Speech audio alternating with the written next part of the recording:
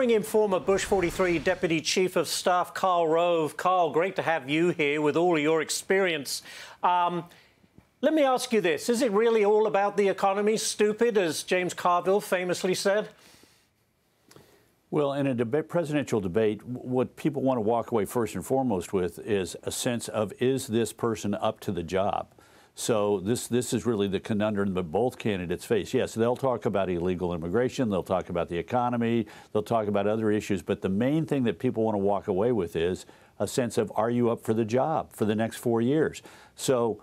Uh, this this is a challenge for both men. Uh, at, at last week, I wrote in the Wall Street Journal in my column uh, about the debates, and I did so after talking to five Republicans who'd been involved in presidential debate preps and three Democrats. And what was interesting was every one of them had a question about which Trump is going to show up.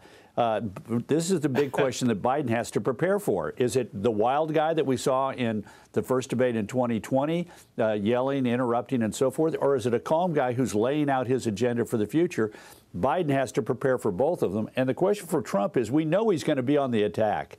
The question is, is he going to show any leg on what it is that he wants to do? And that's one of the weaknesses of this Biden attack ad that's out there. It says he has no plan. What if he shows up and says, I want to lower energy prices by drilling and, uh, and I'm all in on all kinds of energy? What if he says, I'm going to control spending, I'm going to do this, I'm going to do that? It could be very problematic for the Democrats because this will be highly watched and remembered.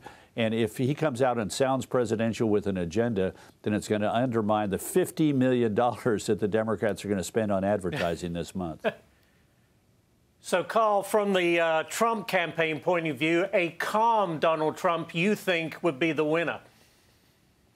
Yeah, absolutely. Because look, they're, they're, they're, the whole thing is this is that he's out for revenge. This is all about payback. Uh, you know, he's ugly. Yeah. You know, uh, they'll, they'll, they'll, they'll dredge that up. And if he's out there sounding like, you know, I got an idea of what I want to do to make America great again, and here it is, that's going to be that's going to be the people are going to say, you know what? I think he's up for the job and he knows what he wants to do. The other guy, the incumbent, he's got a bad record, and all he can do is attack the other guy. You know, it's interesting. So much has been made of um, President Biden's cognitive frailties. Um, almost every day we see examples. Um, if any of that comes out in the debate, how damaging could that be? Enormously, because again, going back to, to the first is, do people look at that, th these two men, and say, I think that one or both of them are up for the next four years. If, if it, it, in my column I said that, that uh, Biden has to be consistently cognitive.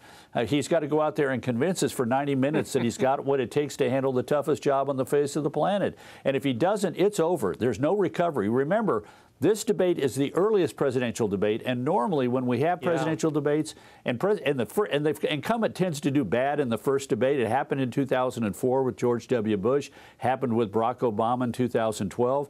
Uh, we had, you know, a couple of weeks, 10 days or two weeks at most before the next debate. The next debate is 11 weeks from now. So whatever impressions are laid in here are going to stick for a long, long time and maybe all the way through November. Yeah, no pressure, right? Well, I can't wait, and just yeah, like anyone none. else, for this thing to get going on Thursday. Karl Rove, you, yeah. you never feel the thank pressure. You, Karl, thank you so much.